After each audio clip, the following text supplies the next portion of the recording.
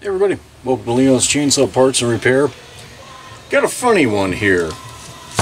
This is Nathan's Homelite 330, and this thing, I mean, if it wasn't for the missing sticker and a little bit of exhaust and oil residue here, you could clean it up and this thing would look nice. So I don't know the history on the saw in terms of how Nathan came by it. Uh, he took it to a shop in Ohio they diagnosed it with low compression and found the intake boot has been leaking slash completely deteriorated. That part I don't, uh, don't, you know, that, yeah, intake boots, that's pretty standard on these things, but the low compression and what they told him verbally about possibly needing uh, bearings and, you know, all of that, I'm kind of like, I think the shop didn't want to work on it. So we're going to do our own compression test here.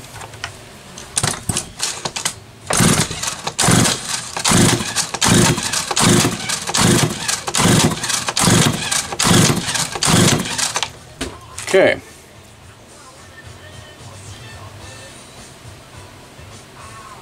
That looks more like 135 psi than 100 psi to me. Just saying. So I didn't do anything to the cylinder. I didn't squirt anything in there. If I had, we'd have been reading 150.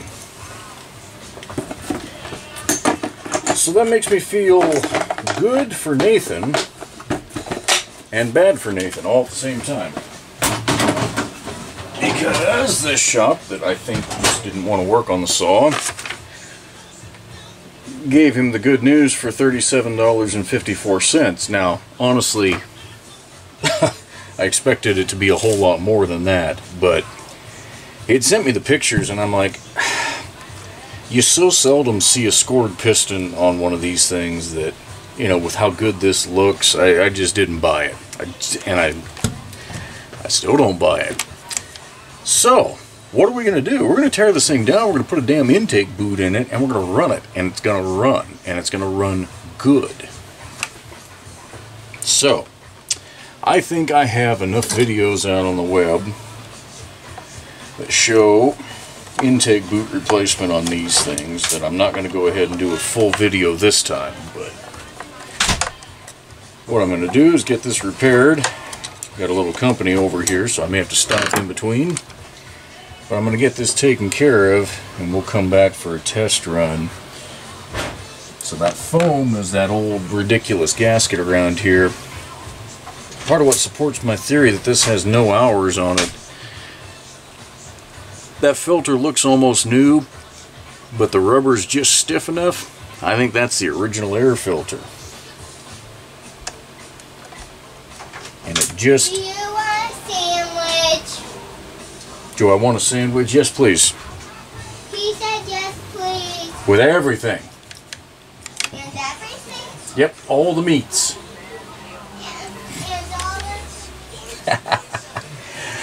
Ah, I've got to go back to the box and dig through it though. Carburetor's missing. There's no carburetor on this saw.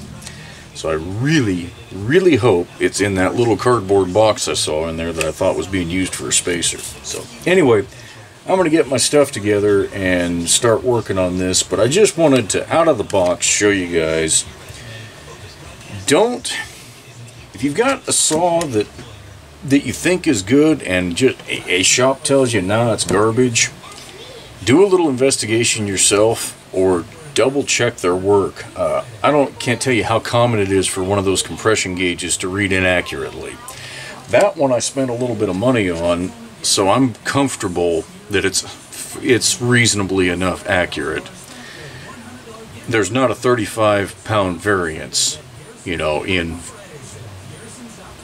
they said 100 pounds. I don't. I think their gauge was bad. It's either that or they've just put that number on the paper because they did not want to work on it.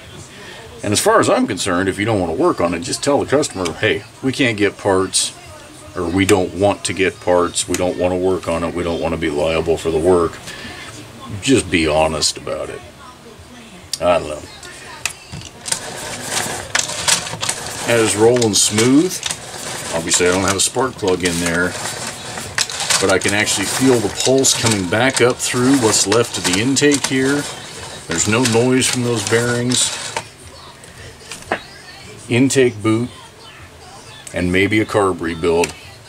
This bad boy is going to be running. Okay, intake boot replaced. That was literally the only thing wrong in this saw. Even the duckbill valves still look like brand new. See if uh, see if she wants to go.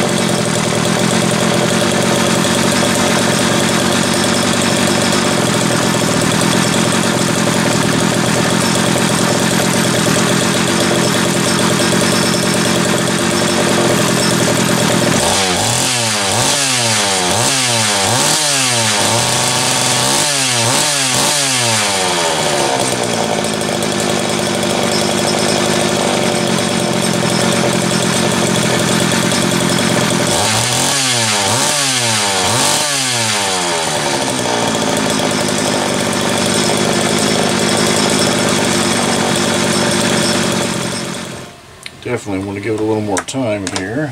I'd like to see a little more oil output. But it's starting to pump over there, I can see that. See if I can get it unflooded.